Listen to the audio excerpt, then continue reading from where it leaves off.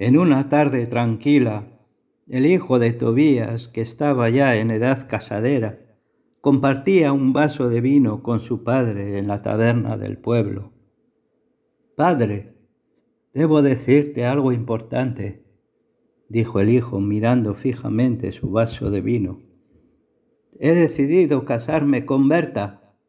Tobías casi escupió su vino de la sorpresa. ¿Berta? ¿La hija del herrero? Pero hijo, es la más fea del pueblo. ¿Cómo es que quieres casarte con ella? El joven sonrió ligeramente y respondió, Es que tiene algo distinto que no he notado en ninguna otra mujer. ¿Y qué es eso tan especial, hijo?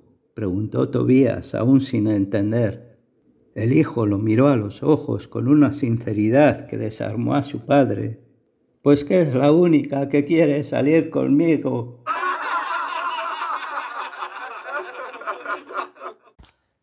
La señora López era muy celosa y estaba siempre muy preocupada por su marido. A éste le gustaba mucho salir por las noches a beber en los bares y la señora López temía que, además de beber, se fuera con otras mujeres. Una noche el señor López no vino a cenar y tampoco llegó más tarde a la hora de acostarse. La señora López se preocupó mucho y llamó por teléfono a cinco de los amigos con los que su marido salía más frecuentemente para preguntar si estaba con ellos.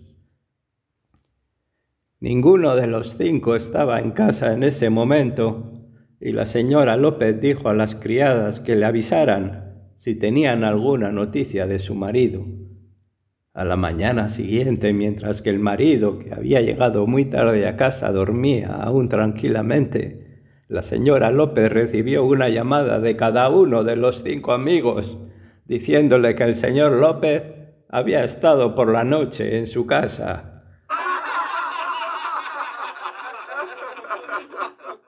El teléfono sonó insistentemente a las cuatro de la mañana en la casa de los señores Sánchez.